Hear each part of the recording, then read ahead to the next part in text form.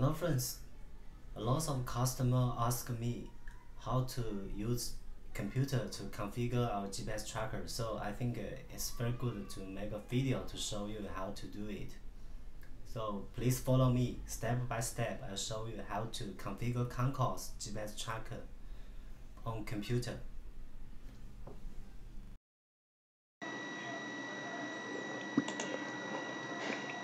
About how to use the computer configuration, I have write a PDF. So,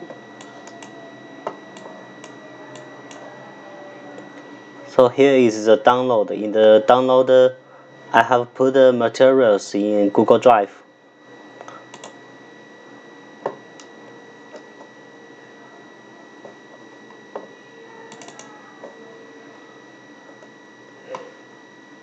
The first one is an example of the configuration cable. And the second one is a video to show you how to use the SSCOM. And the third one is the driver.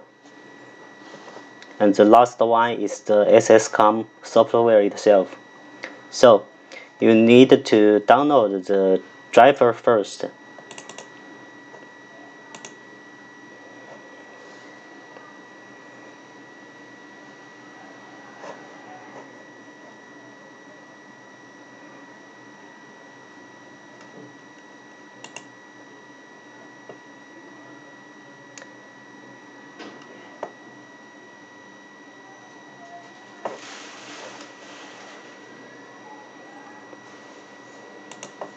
And after you download the driver you just click the next step to install the driver. Okay already downloaded.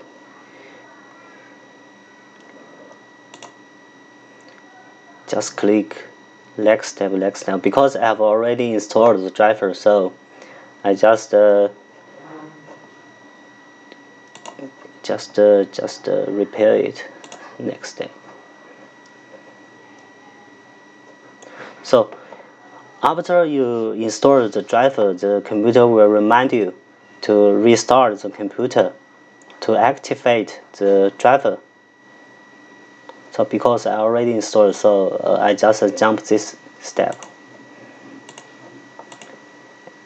And uh, the SSCOM uh, we zip it in a file. So the after you download the the zip file you need to unzip it to your maybe to your desk desktop or other place you need.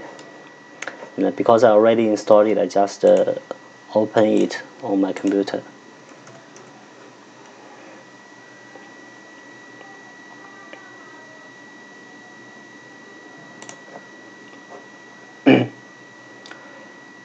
So because I haven't ins inserted the tracker yet, so it will remind me current serial port error because I haven't in inserted the tracker yet.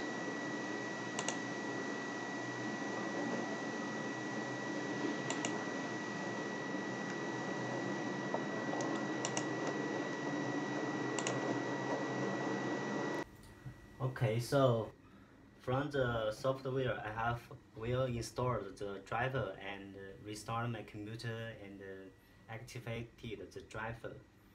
And also I have installed the SSCOM software itself. So now let me turn on the drive, turn on the GPS tracker. I switch the power to on.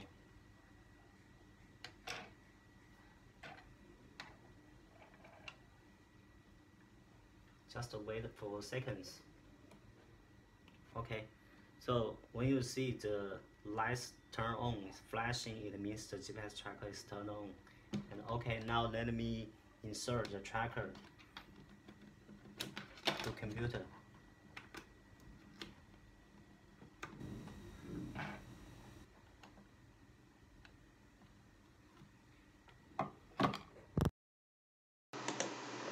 Okay I have inserted the GPS tracker into the computer.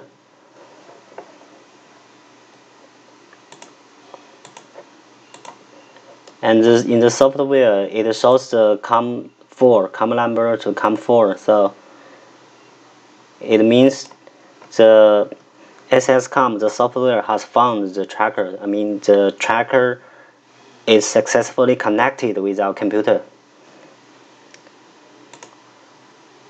and we need to click open com to open the connection.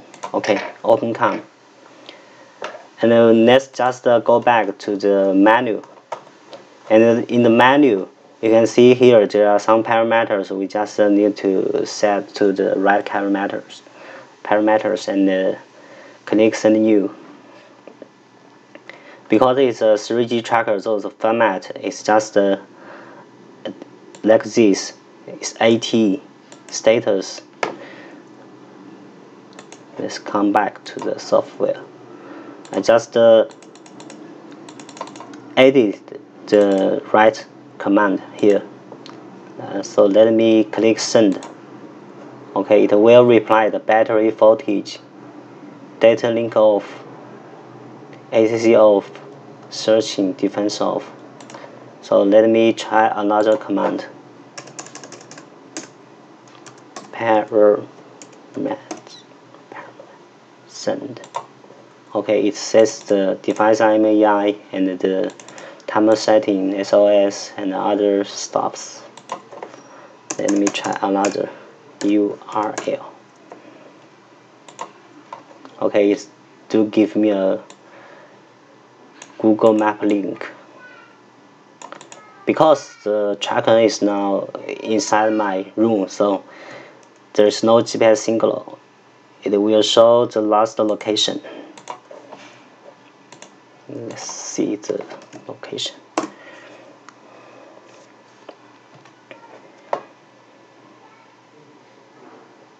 Okay it's here.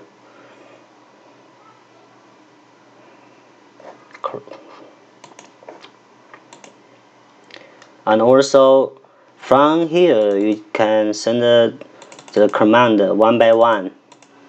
Um, I mean if you want to send a new command you need to remove the old command. To so if you want to send many commands you can click here ext.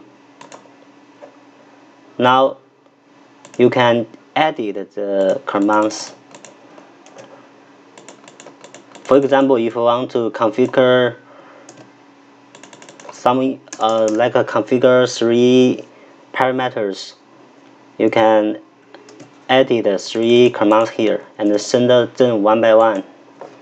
For example if you want to uh, like a SOS first command SOS one two three four. Okay the first command is set SOS second command is uh, set center number okay? Just example A one two three four. And the third command uh, to set a GPS upload upload interval. Timer 10 10 okay.